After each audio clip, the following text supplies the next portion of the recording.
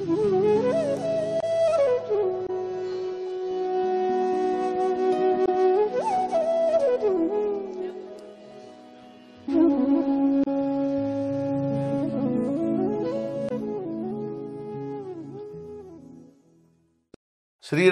ಸಮರ್ಥ ತೊಂಬತ್ತೊಂದು ಪ್ರಪಂಚದಲ್ಲಿರುವ ನಮ್ಮ ಆಸಕ್ತಿಯ ಚತುರ್ಥಾಂಶ ಆಸಕ್ತಿಯನ್ನು ಭಗವಂತನ ಕಡೆಗೆ ತೊಡಗಿಸಿದ್ದಾದರೆ ನಮ್ಮ ಕಾರ್ಯವು ಆದಂತೆ ಆಗುತ್ತದೆ.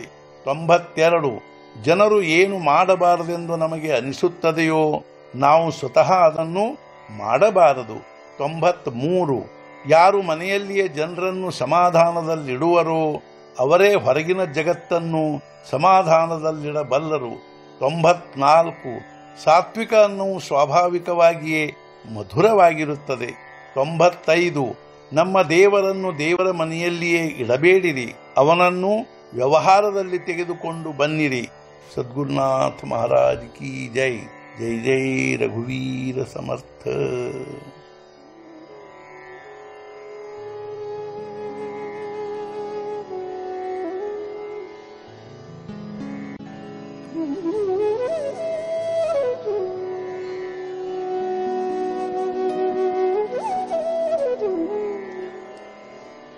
mm.